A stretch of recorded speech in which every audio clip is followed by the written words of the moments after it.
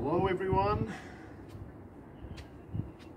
We are going to talk about the basics of boxing and and a professional athlete must have this to be a good one. Okay? So we're gonna start with the position the position that we have we must have in boxing and two important things the side balance like this position we have.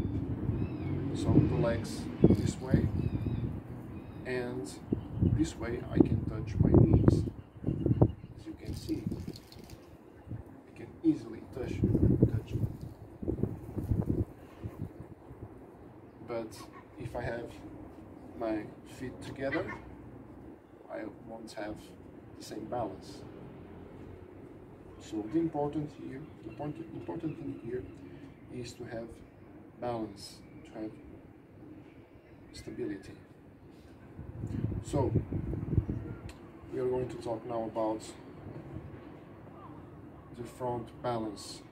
So one leg in front of another, and this way we can back, go back, we can go front. So you must have a flexible all knees flexible. So to have the balance to do rotation this is very important. Or with our shoulder or the natural rotation.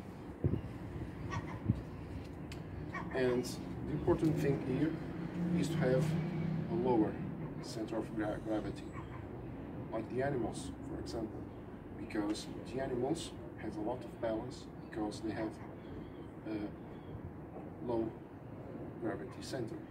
That's why they can run, they can, like the spiders, they can crawl the walls, like that.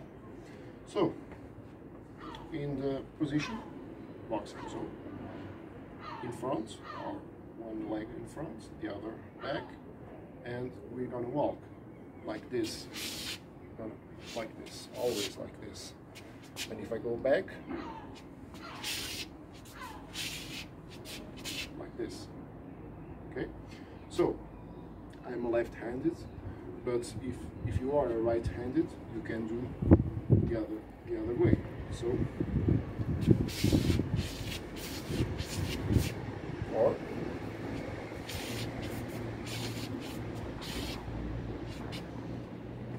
So, this is very important for boxing because you must have the speed, the explosion, and the balance.